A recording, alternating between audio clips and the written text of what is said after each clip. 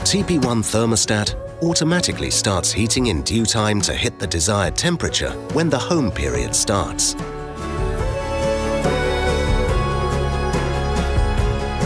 When the away period starts, the thermostat lowers the temperature to the desired level.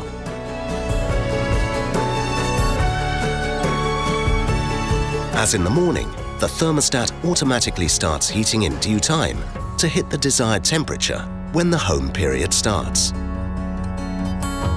You can easily set up your heating schedule. First you enter the menu, then scroll down to the schedule setting and press OK. Select heating by pressing OK again.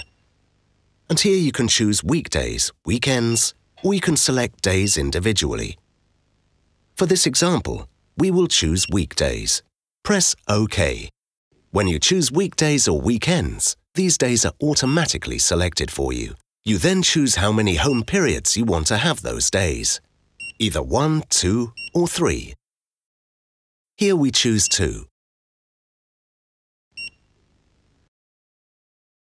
You now select the start time. Press OK and then you choose the end time for each period.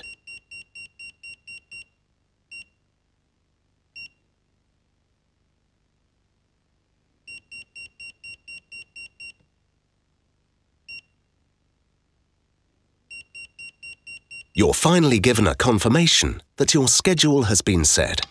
Now you can exit the menu.